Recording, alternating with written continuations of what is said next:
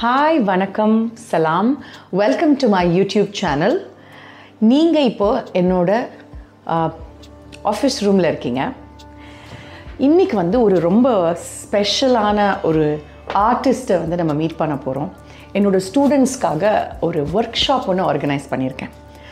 Arts of the Deccan அப்படின்னு சொல்லிட்டு டெக்கன் அப்படிங்கிறது என்ன இடம் அப்படின்னா நம்மளுடைய கர்நாடகா ஆந்திர பிரதேஷ் மகாராஷ்டிரா தமிழ்நாடு கேரளா இதெல்லாம் சேர்ந்த சவுத் ஆஃப் இந்தியா இதை வந்து நம்ம டெக்கன் ரீஜன்னு முன்காலங்களில் கூப்பிட்டு இருந்தோம். அதுக்கப்புறம் வந்து இண்டிபெண்டன்ஸ்க்கு அப்புறம் தான் ஸ்டேட் ஸ்டேட்டாக அதெல்லாம் அது பிரிஞ்சுது. ஸோ அப்போ அந்த டெக்கன் ஆர்ட் அப்படிங்கிறது என்னென்னா நம்மளுடைய விஜயநகரா எம்பையர் அவங்க அதே மாதிரி அங்கே இருந்த நிறைய சுல்தனெட்ஸ் பிஜாப்பூர் சுல்தனெட் கோல்கொண்டா சுல்தனேட் இந்த மாதிரி அஞ்சு சுல்தனேட்ஸ் இருந்தது. அவங்க எல்லாம் சேர்ந்து ஒரு காலத்தில் இருக்கும்போது பஹ்மனி சுல்தனேட்னு இருந்தது. நம்மளோட ஹிஸ்ட்ரி புக்கிலலாம் யூஸ்வலாக என்ன பண்ணிவிடுவாங்கன்னா இந்த பஹ்மனி சுல்தானெட் அதாவது முஸ்லீம் சுல்தான்ஸுக்கும் நம்மளோட விஜயநகர கிங்ஸுக்கும் எப்பவும் சண்டை இருந்தது. நம்மளோட ஹிந்துவிசம் அவங்க காப்பாற்றுறதுக்காக வந்து விஜயநகர கிங்ஸ் வந்து வந்தாங்க. அப்படின்னு சொல்லி ரொம்ப பிளாக் அண்ட் ஒயிட்டில் ஒரு ஹிஸ்ட்ரி கொடுப்பாங்க. பட் உண்மை என்ன அப்படின்னா அந்த ஹிஸ்ட்ரி வந்து ரொம்ப காம்ப்ளிகேட்டட் எவ்வளோ தான் அவங்க வந்து கா வார் ஃப்ரண்ட்டில் சண்டை போட்டாலும் ஆர்ட் ஃபார்ம்ஸ் வந்து ரெண்டு சுல்தனெட்டும் சரி விஜயநகர எம்பையரும் சரி ஷேர் பண்ணிட்டாங்க ஸோ ஆல் ஆஃப் டெக்கன் நிறைய ஆர்ட் ஃபார்ம்ஸ் காமனாக இருந்தது. அதில் ஒரு ஆர்ட் ஃபார்ம் தான் கெலிகிராஃபி கேலிகிராஃபி அப்படின்னா நம்ம வந்து எழுத்தை வந்து ரொம்ப அழகாக ஃப்ளவரியாக எழுதுறது. அஃப்கோர்ஸ் இங்கிலீஷ் கேலிகிராஃபி நிறையா பேர் பார்த்துருப்பீங்க. நம்ம வந்து இன்றைக்கி பர்ஷோ அரபிக் ஏன்னா பர்ஷியன்லேருந்து உருவான ஒரு லாங்குவேஜ் வந்து டக்குனின்னு பேர். உருது தான். ஆனால் அது வந்து டெக்கனில் பேசும்போது அது டக்குனி அதில் நிறையா மராத்தி கொஞ்சம் தெலுங்கு வேர்ட்ஸ் எல்லாம் மிஸ் மிக்ஸ் ஆகிருக்கும் ஸோ அந்த டக்குனி மொழியோடைய ஒரு ஆரிஜின் வந்து பர்ஷியாலேருந்து பர்ஷியன் லாங்குவேஜ்லேருந்து வந்ததுனால பர்ஷோ அரபிக் கலிகிராஃபி வந்து ஒரு ஆர்டிஸ்ட்டை நான் கூட்டிகிட்டு வந்திருக்கேன். அவர் எங்கேருந்து வந்திருக்காருன்னா கர்நாடகாவில் குல்பர்காங்கிற இடத்துல இருந்து ஆக்சுவலி அவர் வந்து ஸ்டுடியோவில் வெயிட் பண்ணுறாரு ஸோ நான் என்ன நினச்சேன்னா உங்களையும் என் கூட. இன்றைக்கி த்ரீ டேஸ் நாங்கள் வந்து ஒரு calligraphy workshop ஸ்டூடெண்ட்ஸ்க்காக so if you look at it I am just getting ready to go to the studio அவர் ஸ்டுடியோவில் ஆல்ரெடி கேன்வஸ்லாம் ரெடி பண்ணி வச்சுருக்காரு. அவர்கிட்ட நம்ம பேசி எவ்வளோ பியூட்டிஃபுல்லாக இந்த ஆர்ட் ஃபார்ம் இருக்குது அதை வந்து ஒரு மாடர்ன் ப்ராக்டிஷ்னராக எல்லாத்தையும் எடுத்துக்கிட்டேன் அவர் எப்படி வந்து ப்ராக்டிஸ் பண்ணுறாரு இந்த ஆர்ட் ஃபார்மோட கொஞ்சம் ஹிஸ்ட்ரி இதெல்லாம் பற்றி நான் உங்களுக்கு சொல்கிறேன் இட்ஸ் கூடது கேலிகிராஃபி ஸோ நம்ம இப்போது கேலிகிராஃபி ஸ்டுடியோ அங்கே தான் போயிட்டுருக்கோம்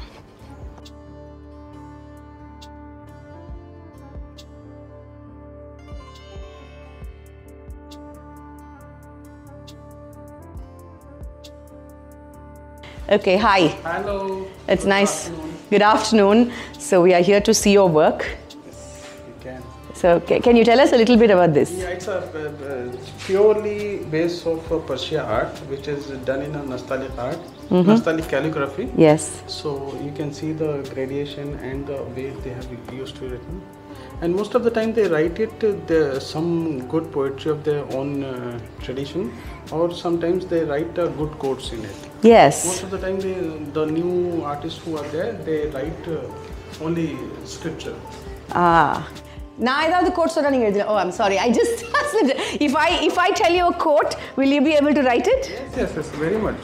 Nice let's do that then I I want to write I want two lines from Rumi And uh, this uh, painting is going to be made ஹா based on love.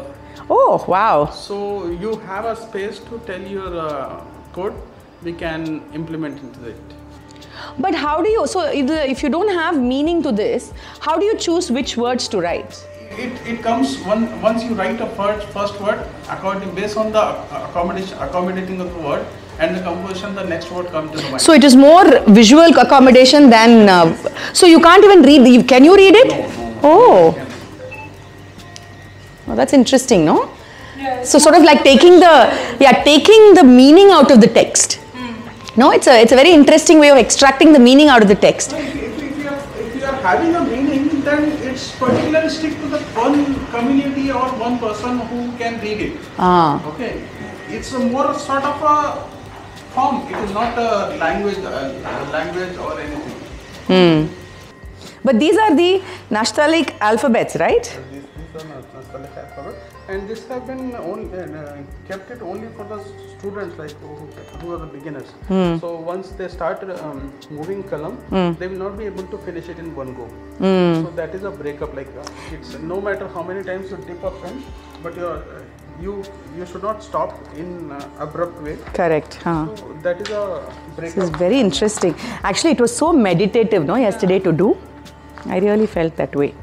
So இது வந்து இதுதான் வந்து bamboo அதாவது மூங்கில்ல பண்ணுற பேனா கலாம் அப்படின்னு பேர் இதுக்கு கலம் ரைட் ஸோ இதுதான் வந்து ஒரு ஷார்ப் எட்ஜ் இவ்வளோ சிம்பிளான ஒரு டிவைஸ் இதில் எப்படி வந்து எழுத முடியும்? அதுவும் அவ்வளோ அழகாக எழுத முடியும். அவர் எழுதியிருக்கிற மாதிரி இதோ இந்த மாதிரியான எழுத்துக்கள் வந்து எப்படி இந்த ஒரு சின்ன ஒரு டிவைஸில் எழுத முடியும். அப்படின்னா நேத்திக்கு வந்து எங்களுக்கு ஃபர்ஸ்ட் டே ஒர்க் ஷாப்பில் பண்ணி காமிச்சாரு. ஸோ இங்கே வந்து Shimul is here so Shimul was there இந்த எஸ்டேஸ் ஒர்க் ஷாப் ஸோ அவங்க வந்து இந்த எழுத்துக்கள் அவர் எங்களுக்கு சொல்லி கொடுத்ததை ட்ரை பண்ணி எழுத போகிறாங்க come why don't you try so டெல so இதில் வந்து இது எப்படி இது ரெகுலர் பேனா மாதிரி நாங்கள் ரொம்ப நேரம் பிடிச்சி எழுதிட்டு இருந்தோம். ஓகே அண்ட் தென் அப்புறம் அவர் வந்து ஒரு ரொம்ப சிம்பிள் டெக்னிக் அண்ட் எவ்வளோ சிம்பிள் பாருங்கள் நம்மளோட ஆர்ட் வந்து எவ்வளோ இன்ட்ரெஸ்டிங்னா நம்ம வந்து அதை அதை பிடிக்கிற விதத்தில் அந்த எழுத்துடைய அந்த குவாலிட்டி அண்ட் தட் பியூட்டி வந்து மாறுது ஸோ இந்த விரலை வந்து இப்படி இந்த இந்த பேம்புக்குள்ளே இப்படி வச்சுக்கிட்டு அழுத்தி அதை ஒரு பர்டிகுலர் ஆங்கிளில் எழுதும்போது you know it brings that that accent and that uh, slant and that grace. Yeah, you want to try?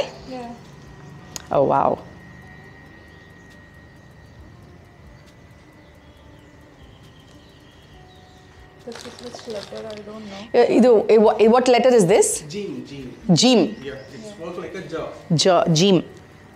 இது வந்து அலிஃப் இது ஆலிஃப் தானே இது ஆவா ஆலிஃபா Yes, alif. அலிஃப் அலிஃப் பே बे जीम और ये वंदे ये इसका साथ है और Yes, yes. हाँ बे जीम और ते ते और ते Te, te, te. ஸோ நேற்றுக்கு ஃபுல்லாக இம்போசிஷன் மாதிரி நாங்கள் எழுதிக்கிட்டே இருந்தோம். ஒரு ப நாலு அஞ்சு பேப்பரில் இதே மாறி மாறி. ஆனால் ஒரு ஒரு தடவை எழுதும்போதும் வந்து ஒரு விஷ பரீட்சை மாதிரி அது நம்ம கையை கரெக்டாக அந்த ஸ்லாண்ட்டில் வச்சு எழுதுறோமாங்கிறது தான் அது வந்து எழுதுறது முக்கியம் இல்லை. அது எழுத்து கற்றுக்கிறத விட அந்த அழகு கற்றுக்கிறது எங்கே திக்காக இருக்குது எங்கே தின்னா இருக்குது கேன் ஐ ட்ரை. இப்போ வந்து அந்த முதல் எழுத்து தான் ரொம்ப கஷ்டமாக இருந்தது. நோ வரல பட் கொஞ்சமாவது ட்ரை பண்ணலாம். நேற்றுக்கு வந்து நான் அவ்வளோ நேரம் கஷ்டப்பட்டு பெருமையாக எழுதிட்டேன்னு நினச்சது. அவர் வந்து பார்த்து ஆக்சிடென்ட்னு சொல்லிட்டு. ஐயோ. Yeah no but but it's so see that moment that he gives. yeah it's a it's a such a uh? But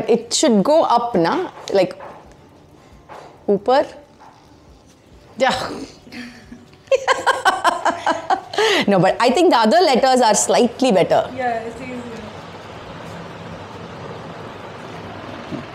ஆனால் அவர் கடைசியில் என்ன சொல்லிட்டாருன்னா இது ப்ராக்டிஸ் பண்ணுங்க இந்த டைமண்ட் டைமண்டாக போடுறத ப்ராக்டிஸ் பண்ணுங்கன்னு சொல்லிட்டாரு right anyway so this is the beauty of the kalam while we are playing with it the artist is at work okay you want to tell us about this painting Like yesterday, I was telling you the story of uh, my family or the grandparents.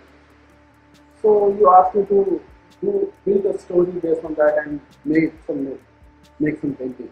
yeah So I have tried to do something based on that story.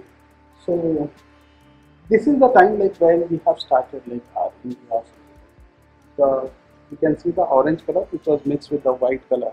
Yeah. It was not it was not that dark. Hmm. So it used to be mingled with any other color very easy. It was a watery. You can see that. yeah wow huh So with the time, how the time goes on, it became the darker. mm, wow Mm. And sometimes it became so extreme, like it became red, and later on it became black, almost a black. So this thing I have to predict as a blood, the red color, the bleed bleeding. bleeding of the partition Yes, bleeding of the partition, and more on like afterwards, like the, the time we are seeing now, like kind of the time we are facing. Yeah. And you can see there is a black color in the bottom. Hmm. What that black color is doing there? Hmm. what is it if uh, you don't attend the blood or the dead body for a while, that becomes a black.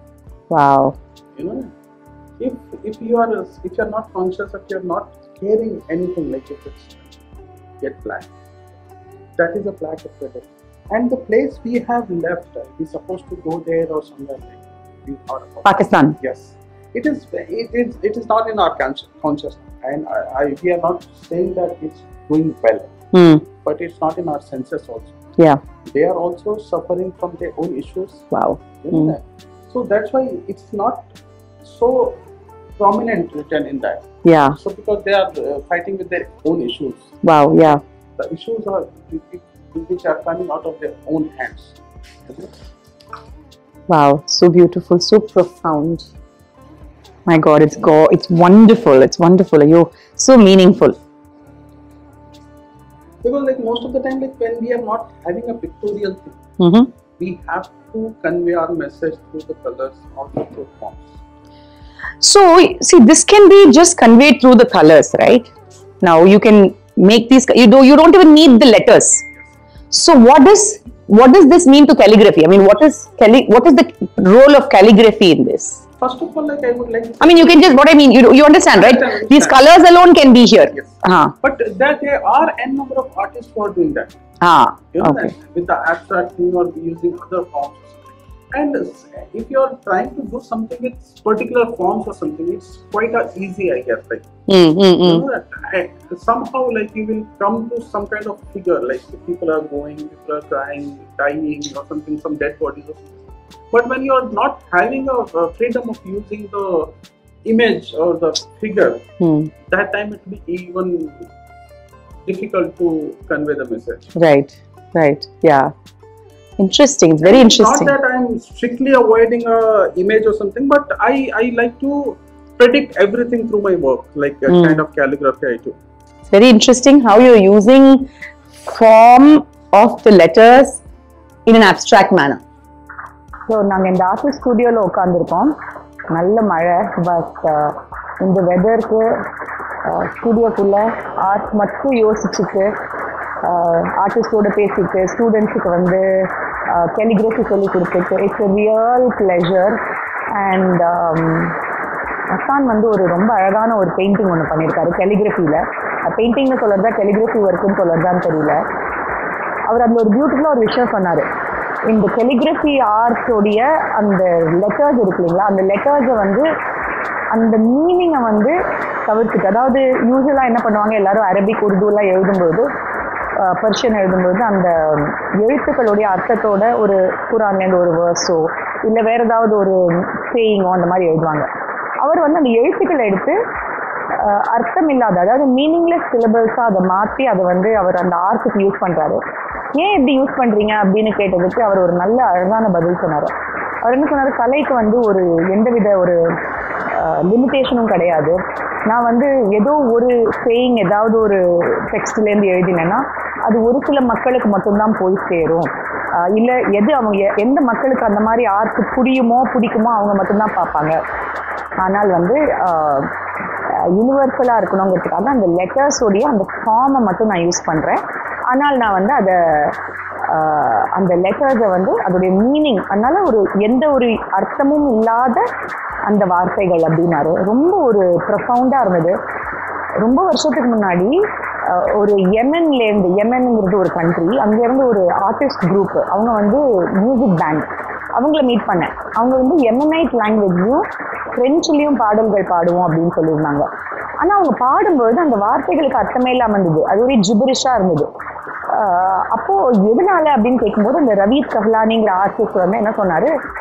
இது எல்லாருக்கும் தானே இந்த art அதனால French மாதிரி sound பண்ணா போறோம் ஃப்ரெஞ்சா இருக்கணுங்கிறது இல்லைனாரு it really made me think இன்னைக்கு இவர் அரசானும் அதுதான் சொல்லும்போது அப்போ கலைக்கு வந்து மொழி மொழி ஆஹ் ஒரு இலக்கியம் இதெல்லாத்தையும் அப்பாற்பட்டது. ஆஹ் அந்த கலையே வந்து ஒரு வடிவமாக யூஸ் பண்ணுறாங்க அப்படிங்கிறது இட்ஸ் அன் அமேசிங் திங் நானும் பல நேரங்களில் அந்த மாதிரி மூவ்மெண்ட்டை வந்து யூஸ் பண்ணியிருக்கேன். பட் மற்ற ஆர்டிஸ்டும் அதே சொல்லும்போது இட்ஸ் வெரி ரியஸ்டோரிங் அவர் வந்து ஒரு ஆர்ட் பீஸ் கிரியேட் பண்ணியிருக்காரு. இந்த மாதிரி யூனோ அப்ட்ராக்ட் டெலிகிராஃபி வச்சு. அதோடைய தீம் வந்து நேற்றுக்கு அவர்கிட்ட நான் பேசும்போது ஆக்சுவலி என்னன்னா அவருடைய ஃபேமிலியோட ஸ்டோரி பற்றி கேட்டிருந்தேன். அவர் வந்து அவருடைய குடும்பம் வந்து எப்படி எல்லாரும் வந்து பார்ட்டிஷன் ஆனதுக்கப்புறம் இந்தியா இங்கேருந்து பாகிஸ்தான் கிளம்பி போகிறதா இருந்தாங்க. பூனே வரைக்கும் போனப்புறம் பூனேல வந்து அவருடைய ஒரு சைடு ஆஃப் குடும்பம் என்ன சொன்னாங்களாம் உங்கள் அப்பா சைடில் இந்த மாதிரி உங்களுடைய ரெண்டு சந்தோஷங்களை வந்து எங்கள் குடும்பத்தில் கல்யாணம் பண்ணி கொடுத்துருக்கோம் வேற ஒரு குடும்பத்தில். ஸோ எல்லாரும் மூட்டையை சுற்றிட்டு போயிட்டோம்னா அவங்க இங்கே தனியாக ஆயிடுவாங்க. அதனால ஒரே ஒரு ஃபேமிலி மட்டும் இங்கே இருந்துக்கலாம் அப்படின்னு. ஸோ அதனால அவங்க அங்கேருந்து பிரிஞ்சு இவங்க மறுபடியும் குல்பர்காக்கும் அவங்க வந்து பாகிஸ்தானுக்கும் போயிட்டாங்க.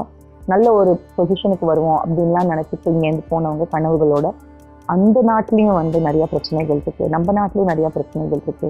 அதனால இந்த பிரிவில் ஏற்படக்கூடிய துன்பங்கள் அதில் வந்து எல்லாரும் அழுதுட்டு இருக்காங்க அப்படிங்கிற இந்த கான்செப்ட் எல்லாம் வந்து ஒரு ரொம்ப ஒரு சட்டிலாக அழகாக அவர் வந்து எடுத்து சொல்லி அந்த பெயிண்டிங் பண்ணியிருக்காரு. அதை அவரே எக்ஸ்பிளைன் பண்ணுவார் இங்கிலீஷில். நான் ஜஸ்ட் ஒரு உங்களுக்கு ஒரு ப்ரில்யூட் மாதிரி கொடுத்தேன். ஸோ கலிகிரஃபி ஆர்ட் வந்து இது வந்து வருஷக்கணக்காக பண்ண வேண்டியது. பட் இந்த மாதிரி வெவ்வேறு கலைகளை கற்றுக்கும்போது as a dancer as an artist எனக்கு வந்து இட் இன்ஸ்பயர்ஸ் அண்ட் இதே ஒரு இன்ஸ்பிரேஷன் தான் என்னோட ஸ்டூடெண்ட்ஸ்க்கும் கொடுக்கணும்னு நான் ஆசைப்பட்டேன் ஸோ இந்த வீடியோ உங்களுக்கு பிடிச்சிருந்தா do like share and subscribe உங்கள் எல்லாரையும் அடுத்த ஒரு வீடியோவில் பார்க்க தேங்க்யூ